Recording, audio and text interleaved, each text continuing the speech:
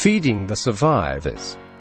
Now absorbed into a new government department DEFRA, the Ministry of Agriculture, Fisheries and Food, MAFF had the prime responsibility for the feeding arrangements for the surviving population. The backbone of the provision was the strategic food stockpile through a national network of buffer depots. There were three of these depots in Leicestershire. Little Glen Road, Glen Parva now a housing estate. New Street, Earl Shilton now a housing estate. Station Road, Castle Donington now a furniture warehouse. The location of these buffer depots was a very closely guarded government secret up until the early 1990s. However, it is interesting to note a story recalled by a buffer depot inspector. He was lost trying to find the one he was to inspect and pulled over to ask a local resident. He gave the address but not what exactly he was looking for. He was shocked to find the residence state, oh, you mean, that food depot. Ian Rosie was a finance officer with MAFF and involved in the ultimate sale of the buffer depots. The depots bore no markings and there was nothing to suggest what was contained within. They held sealed packs of boiled sweets, fat, yeast, sugar, flour, yeast bread, home office soup and high-energy biscuits. With respect to the biscuits I recall some dock workers trying them out and regretting finding themselves feeling over hyperactive. The stockpiles were turned over every six months under secret nighttime delivery. To emphasize this last point Earl Shilton resident Roy Bonza whose home backed onto the Earl Shilton depot told me, in all the time the depot was there we never saw a vehicle arrive or leave.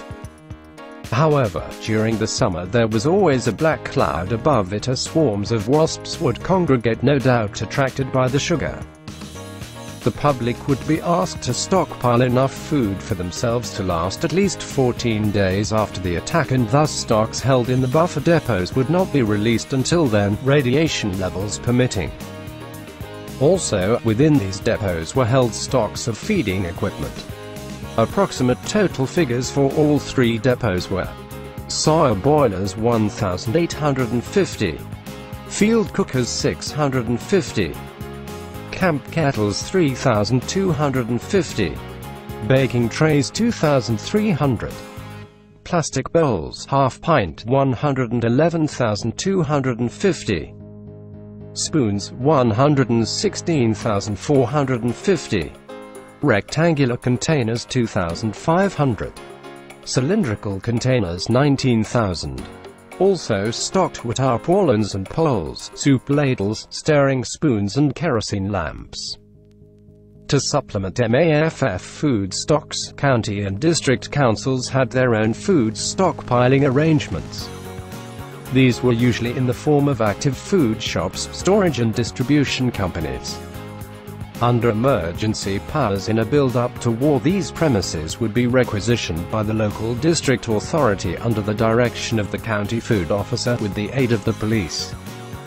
These were namely, Blaby Asda Superstore, Fosse Park, Charnwood Walker's Crisps, Thurmaston, Harborough BOCM, Lutterworth, Golden Wonder Crisps, Cattle Market, Hinckley and Bosworth SPD, Hinckley.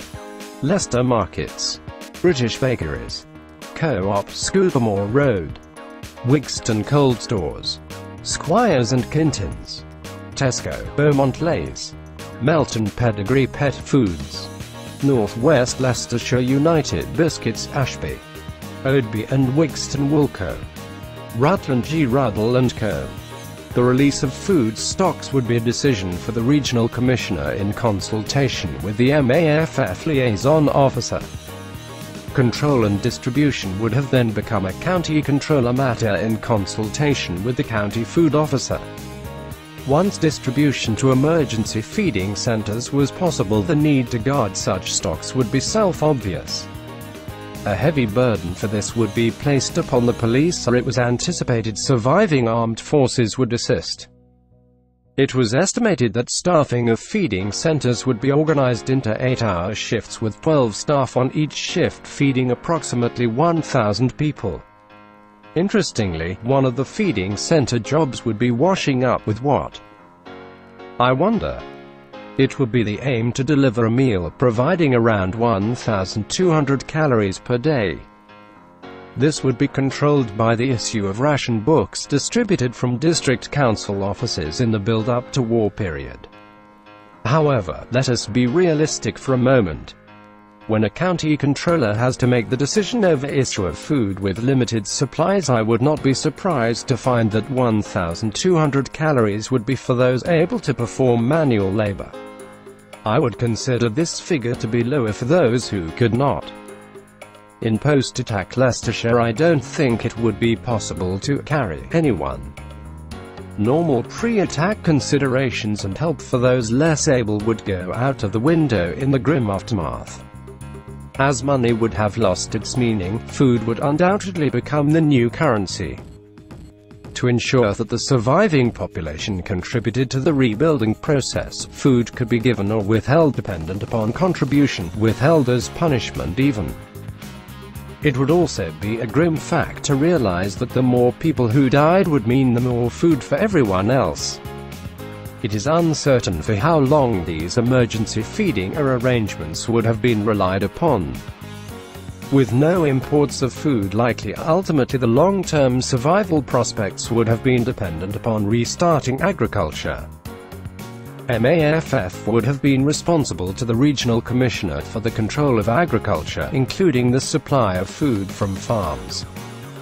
Groups of about 800 agricultural holdings would be controlled by a local agricultural control officer LACO from MAFF's divisional office, Chalfont Drive, Nottingham.